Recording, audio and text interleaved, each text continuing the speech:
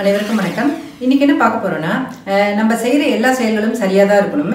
நம்மளை சுற்றி நடக்கிற எல்லா விஷயங்களையும் ஒழுங்காக்கணுங்கிற அந்த நினைப்பு வந்து சரியாக தவறா அப்படின்னு சொல்லிட்டு நிறைய பேருக்கு கொஷின் இருக்குது அதை பற்றி தான் நீங்கள் டிஸ்கஸ் பண்ண போகிறோம் நம்ம இந்த மாதிரி வந்து நம்ம செய்கிற எல்லா செயல்களும் சரியாக இருக்கணும். நம்மளை சுற்றி நடக்கிற எல்லா விஷயங்களுமே சரியாக தான் இருக்கணுங்கிற அந்த நினைப்பு வந்து சரிதான். ஆனால் எந்த அளவுக்கு அது சாத்தியம்ங்கிறது தான் பார்க்கணும். அதாவது நம்ம நம்ம செய்கிற வேலையை வந்து நம்ம சரியாக செய்யணும் அப்படின்னு நினச்சி நம்ம நூறு சதவிகிதம் ஈடுபாட்டோட குறிக்கோளோட லட்சியத்தோட செய்யும்போது அது ஐம்பது சதவிகிதமாவது சரியாக வரும். ஆனால் அதே வந்து நம்மளை சுற்றி நடக்கிற எல்லா விஷயங்களும் சரியாக இருந்தால் தான் என்னால் சிறப்பாக செயல்பட முடியும் அப்படிங்கிற அந்த நினைப்பு தான் வந்து நம்மளுடைய செயல் வேகத்தை வந்து குறைக்கும். ஏன்னா நம்ம வீடுகள்லேயே பாருங்களேன் நம்ம உங்களுடைய கணவனோ இல்லை மனைவியோ குழந்தைகளோ நீங்கள் உங்க- நீங்க சொல்றபடி நடக்கிறது இல்லை நீங்கள் நினைக்கிறபடியே இருக்கிறது இல்லை ஏன்? நீங்கள் கூட பல நேரங்களில் வந்து உங்க மனசு சொல்றபடியே நடக்க முடியறதில்ல. கிளம்புற நாலு மணிக்கு எழுந்துக்கணும்னு சொல்லிட்டு அலாரம் வச்சு படுத்தாக்க நாலு மணிக்கு அலாரத்தை ஆஃப் பண்ணிட்டு தூங்குறதுக்கு தான் பல நேரங்கள்ல வந்து நமக்கு தோன்றுது. ஸோ நம்மளாலேயே நம்ம ந- நம்மளை வந்து கட்டுப்படுத்த முடியாத போது நம்ம வந்து பிறரை கட்டுப்படுத்துறதுங்கிறது வந்து கொஞ்சம் கஷ்டம்தான். இந்த மாதிரி வந்து மாற்றங்களை ஏற்படுத்தணும்னா முதல்ல வந்து நம்ம இயங்குற களத்திலையும் நம்ம இயங்குற தளத்திலையும் மாற்றத்தை கொண்டு வரணும். சின்ன சின்ன விஷயங்களில் வந்து நம்ம வந்து மு- நடந்துக்கணும். நம்ம வந்து ஒழுங்காக நடந்துக்கும் போது ப்ராப்பராக நம்ம ஒர்க் பண்ணும்போது நம்மளை சுற்றி ஒரு பாசிட்டிவ் வைப்ரேஷன் வரும். அதை பார்த்து மற்றவங்களும் மாறுறதுக்கு சான்சஸ் இருக்குது நம்ம வந்து மாறாமலேயே நம்ம ரூல்ஸ் மட்டும் போட்டுட்டு இந்த கம்ப்யூட்டர் லாஜிக் மாதிரி இப்படி தான் இருக்கணும்னு சொல்லிட்டு ரூல்ஸ் போட்டுட்டு நம்ம பிறரை வந்து நம்ம கட்டுப்படுத்த ஆரம்பித்தோன்னா மாற்றங்கள் வர்றது வந்து கொஞ்சம் கஷ்டம்தான். ஏன்னா நம்ம நம்ம வந்து தொடர்ச்சியாக இயங்கணும். நம்ம வந்து எப்படி ந- எப்படி நடந்துக்கணும்னு நினைக்கிறோமோ அந்த மாதிரி நம்ம ஹண்ட்ரட் பர்சன்ட் நடந்துக்கிறதுக்கு முயற்சி பண்ணணும். அதை வந்து தொடர்ச்சியாக செயல்படுத்தணும். ஒன்று ஒரு நாள் ரெண்டு நாள் இல்லை தொடர்ச்சியாக செயல்படுத்தணும். அதை பார்த்துட்டு இருக்கும்போது மற்றவங்களுக்கும் அந்த வைப்ரேஷன் வந்து ஏற்பட்டு தொடர்ச்சியாக இயங்குவாங்க. ஃபார் எக்ஸாம்பிள் வந்து இப்போ எங்கள் நிறுவனத்திலே பார்த்தீங்கன்னா லஞ்ச் டைம் வந்து ஒன்று டூ எங்கள் நிறுவனத்தில் எல்லாருமே சாப்பிட போகிற டயத்தில் லைட்லாம் ஆஃப் பண்ணிட்டு போயிடணும். ஒரு அறைக்கு ஒரே ஒரு லைட் மட்டும் போடணும்.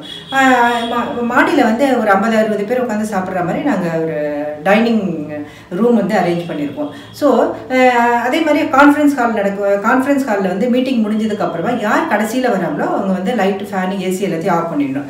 ஸோ இந்த மாதிரி அது நானாகவே இருந்தால் கூட நான் அந்த அறையை விட்டு கடைசியில் வந்து நான் தான் ஆஃப் பண்ணணும். ஸோ இந்த மாதிரி செய்யும்போது எலக்ட்ரிசிட்டி வந்து சேவ் பண்ண முடியுது.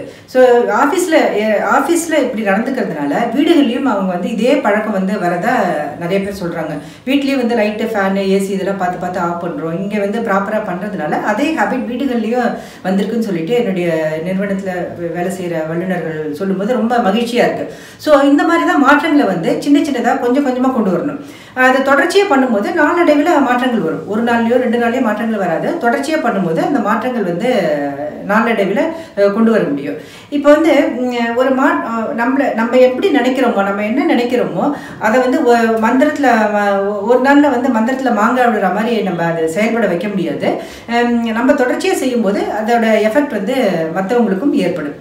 அதை விட்டுட்டு நான் ரொம்ப டிசிப்ளின் நான் ரொம்ப நேர்மையானவன் நான் ரொம்ப ஸ்ட்ரெயிட் ஸ்ட்ரெயிட் ஃபார்வேர்ட் அப்படின்னு சொல்லிட்டு ஸ்கேல் வச்சு கோடு போட்ட மாதிரி நம்ம ரூல்ஸை வந்து ஃபாலோ பண்ணவே முடியாது. ரூல்ஸ்னு வந்து நீங்கள் ஒன்று போட்டாலே அதை உடைக்கிறதுக்கு தான் இங்கே நிறைய பேர் இருப்பாங்க. ஸோ இந்த ரூல்ஸ்ன்னு சொல்லாமல் அதை வந்து ஒரு வாழ்க்கை முறையாக நம்ம மாற்றி காமிக்கணும். அதுக்கு வந்து நம்ம தான் வந்து முதல் அடியை எடுத்து வைக்கணும்.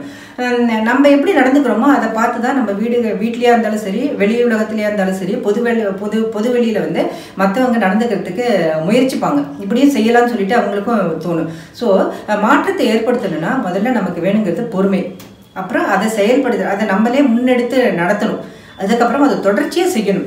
இது மூணும் இருந்தால் நாளடைவில் நம்ம நினைக்கிற மாதிரி நம்ம நம்மளை சுற்றி மாற்றங்கள் வந்து நடைபெறும். ஸோ அந்த முதல் அடியை எடுத்து வைக்கிறது நம்மளா இருக்கணும்.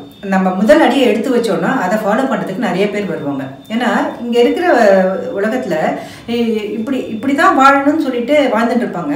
இப்படியும் வாழலாம் அப்படின்னு சொல்லிட்டு நம்ம வந்து ஒரு மாற்றத்தை வந்து காமி கா- காமிச்சோன்னா அதை வந்து பின்பற்றுறதுக்கு நிறைய பேர் வருவாங்க. முயற்சி செஞ்சு தான் பாருங்களேன். வாழ்த்துக்கள். நன்றி.